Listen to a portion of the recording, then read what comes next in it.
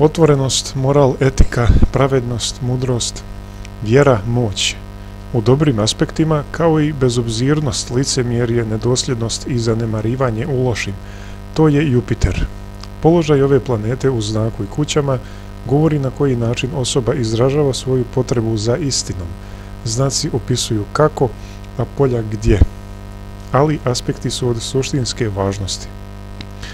Sunce je i vatra i ego, ideali, vrijednosti i očekivanja veoma su visoki.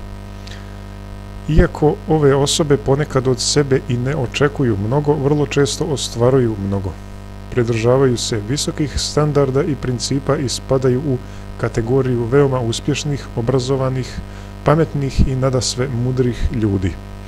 Pojedinci sa konjunkcijom ili sa dobrim aspektima Sunca i Jupitera, na primjer sa trigonom i sekstilom, vrednuju sebe same, e, vole samo raskoš, e, luksuz, teatralnost i tako dalje. I slično. E, posljedica je naduvavanje pod navodnicima sobstvenog dostojanstva – i Jupiterovski se odlazi ili previsoko ili predaleko. Želja za pažnjom i divljenjem veoma je naglašena, a često je i uslov ljubavi divljenje. Potreba da im se uvijek i sve odobrava u istom je rangu kao i pretpostavka da im niko ne može odoljeti. Sreća je u tome što ovi pojedinci toliko zrače kako dobrotom, tako i optimizmom, da im je i stvarno nemoguće odoljeti. Odobravanje im je mahom potrebno zbog više nego očigledne nesigurnosti, osim ako ne postoje jaki saturnovski aspekti. Bilo kako bilo, e, ne mogu da podnesu da ih neko ignoriše, a Jupiter im daje, e, daje osjećaj da je pažnja koja im se posvećuje njihovo sveto pravo. Misle da su bogom dani, pod navodnicima, ili barem da su u kraljevskom rangu. Često su tiranski raspoloženi i, i ukazano poštovanje, divljenje i zahvalnost uzimaju kao nešto što se podrazumijeva. Ako pažnja koju zahtijevaju izostane, mogu biti skloni i nasilju. U lošem aspektu ovo se pojačava, lako se priklanjaju tuđim uvjerenjima, ma kakva ona bila, do te mjere da potpuno neutrališu i obezvrijede sebe. Šansa da se razvije samopouzdanje je pri lošem aspektu Sunca i Jupitera značajno umanjena. Tada se do poštovanja kojem se teži nikako ne stiže.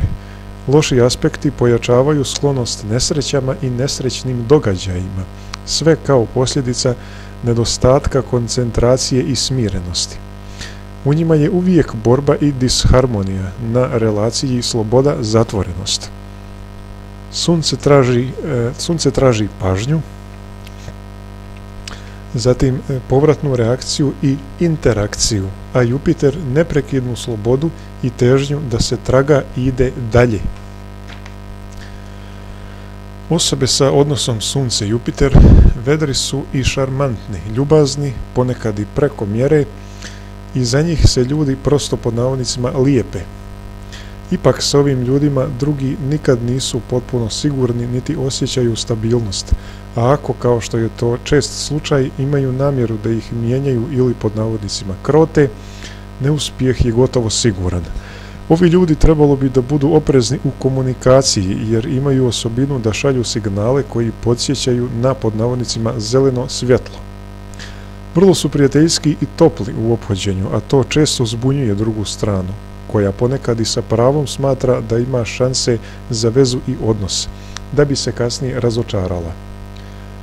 Loša strana te otvorenosti i topline umije da bude štetna, iako se veza ostvari, iako, pardon, umije da bude štetna, iako, iako, pardon, umije da bude štetna iako se veza ostvari jer ove osobe nastavljaju da se isto ponašaju i prema svima drugima, što može dovesti do ljubomore.